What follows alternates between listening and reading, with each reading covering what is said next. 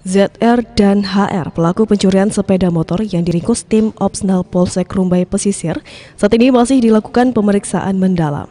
Di hadapan penyidik, kedua pelaku mengakui perbuatannya telah mengambil sepeda motor di parkiran Rusunawa, Rumbai. Dalam aksinya, pelaku menggunakan kunci letter T yang disita pihak kepolisian sebagai barang bukti. Selain menggunakan kunci letter T, pelaku juga memanfaatkan pertemanan dengan korban, sehingga pelaku menduplikasi kunci motor milik korban. Yang pertama tersangka Z ini dia beroperasi karena dia tinggal di Rusunawa.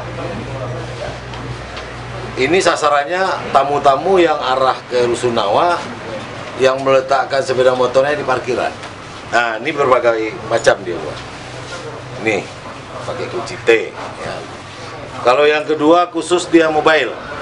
Ini tersangka kedua ini mengintai sepeda motor yang pemiliknya kelupaan untuk mencabut pada saat parkir. Itu pengakuan dia. Tapi akan kita tajami lagi, dalam lagi, pasti ada modus-modus lain. Seperti berita sebelumnya, kedua pelaku ditangkap setelah polisi menyelidiki laporan korban yang sepeda motor raib saat di parkiran Rusunawa. Polisi terus mengembangkan kasus pencurian sepeda motor yang dilakukan oleh kedua pelaku. Devi Hendrawan dan Danata melaporkan.